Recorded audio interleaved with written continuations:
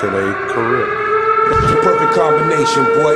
Hemp hard, legends in the South. This is sports fans' only home for the hottest sports show around. These guys are on fire. You're now listening to KJ and Shawn Mac.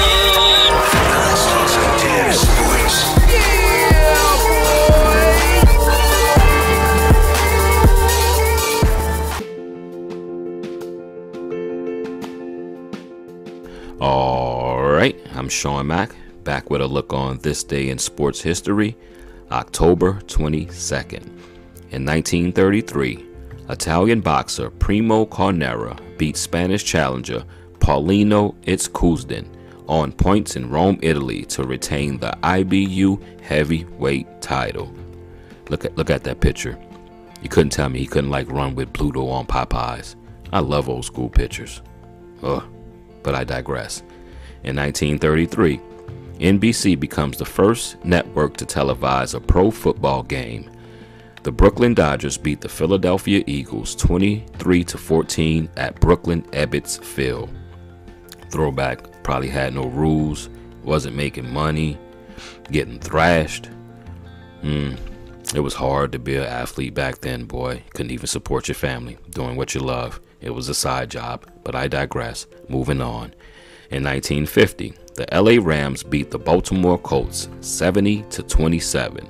Yes, 70 to 27. Fashion thrashing, thrashing ration.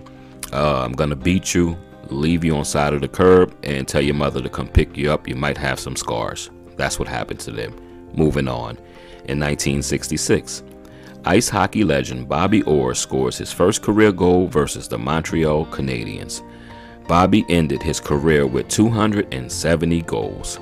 It's Bobby Orr. It's a Hall of Famer. It's a legend. Moving on.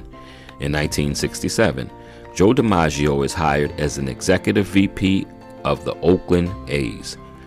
Never, I thought Joe just Joe DiMaggio actually just played and that was it. He quit and went to date people. I didn't know he was in the offices. He was in a couple of uh, the front office. Never knew that. I thought he was just a player. But moving on. Rest in peace. Shouts out to Joe DiMaggio. In 1968, American swimmers sweep the medals in the women's 200 meter freestyle at the Mexico City Olympics. Debbie Meyer took home the gold with the Olympic record time of 2 minutes and 10 seconds ahead of her teammates Jane Henne, and Jane Barkman. Shouts out to the ladies. Love them all. Raise the roof. Not a tiny one, but a big one. Shouts out to the ladies. Love you all. In 1974, the New York Yankees, New York Yankee outfielder Bobby Murcer was traded to San Francisco for outfielder Bobby Bonds, the father of Barry. Gotta love that. I, I, I, just love I love the Bonds. I, I always have and always will. Don't care what the media say. Love the Barry Bobby Bonds. Love Barry Bonds. Bobby went through a lot, and that's why his son didn't really like the media. But moving on, I digress. In 1976, Rick Barry of the San Francisco Warriors began the longest NBA free throw streak of 60 in a row. I could do a whole segment about people missing free throws. I feel if you miss a free throw in a big game, you should be dock pay because they're free and all you have to do is practice to get them. Don't understand why people miss them. Shaquille O'Neal would probably be the best NBA player of all times if he hit 85% of his free throws. Yeah. In 1997, the coldest World Series game took place in Ohio with a temperature of 38 degrees at start time. The Cleveland Indians beat the Florida Marlins 10 to 3, but as we all know, the Marlins went on to win that series and the championship. And Cleveland still hasn't won anything. Not in baseball. Sorry. Oh God. And finally, in 1999, NHL goaltender Grant Fuhrer wins his 400 career game versus the Florida Panthers. And that will be your NHL fix for the year from sports fans only. You're welcome. And as always, before I bounce on out of here, get on out of here, jet on out of here, any of those 90s terms that we use to get on out of here.